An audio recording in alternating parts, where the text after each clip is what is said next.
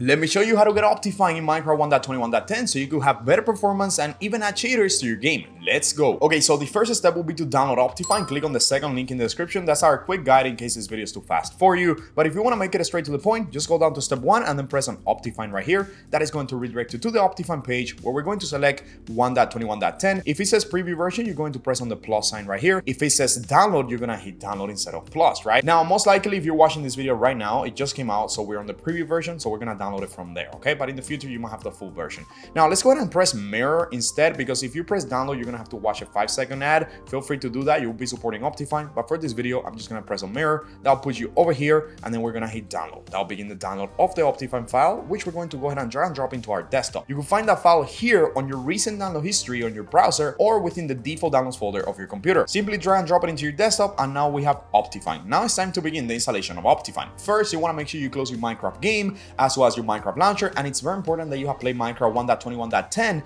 at least once on your computer, and then just go ahead and double click on the preview Optifine file or the full Optifine installer file that is going to open the installer. And if it didn't, don't worry, I'm gonna teach you how to fix that in just a second. But for most of you, it should open the installer, and we're gonna go ahead and hit install. And like I was saying, if it didn't open the installer, just go ahead and make sure you have Java 21 installed. Java 21 is a requirement when modding Minecraft 1.21 any version, including 1.21.10. I'm gonna leave you this article in the description. This is a quick article on how to install Java 21, but you pretty much hit the button over here, you download the right version, Java 21, hit next a couple of times, and then you have Java 21, which will let you install mods for Minecraft, okay? Now, once we install Optifine, we're gonna go ahead and hit OK here, and we could even delete the installer file from our desktop because we don't need it anymore. Now it's time to test it out. Go ahead and open your Minecraft launcher, and once you open the Minecraft launcher, if Optifine was installed properly, you should see it selected here automatically, as you can see, 1.21.10 Optifine. If you don't see it in there, you go head over to installations, and then make sure you have modded selected, because without modded, you won't see Optifine. If it is still doesn't show up, just press on new installation, and then under versions, search for Optifine, okay? Now, once you have Optifine installed, now I'm gonna show you how to add shaders. So what you will do is hit play. You might get a prompt in here, read through it, if you agree, hit understand, and then hit play one more time. Now, while we wait for Optifine to open, if you need a Minecraft server, this is the perfect time to get a good deal with Apex Hosting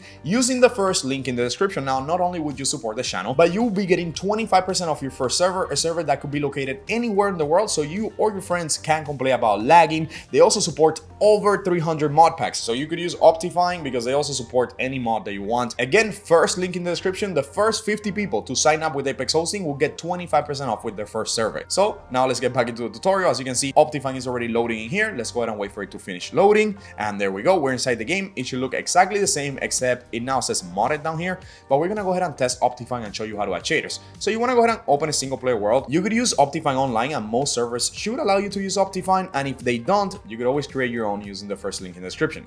But once you're inside a world, to use Optifine, you could press escape head over to options and then video settings. And as you can see, this whole menu has changed in here and it says Optifine down here. And now you have the shaders option. Now, if it doesn't let you apply the shaders when you select them, and by the way, if you don't have any shaders for Minecraft in the description of this video, I'll leave you a link with our top 10 best free shaders for Minecraft so you could add some shaders in here. But once you add a shader in here, all you have to do is hit apply. If you don't see the apply option right now, that's because this is the preview of Optifine and the preview of Optifine most times won't let you use shaders just yet. So all you have to do is wait a couple days and then download the most recent version of Optifine following the same steps we did in here. But once you have the shaders in there and you apply them, you'll be able to use them in the game. You also have a bunch of other settings with Optifine here. You can change the quality of things, the performance, of course, to get more FPS on your game. But there you guys have it, how to get Optifine 1.21.10 in Minecraft. If this video helped you out, don't forget to subscribe and I'll see you guys next time.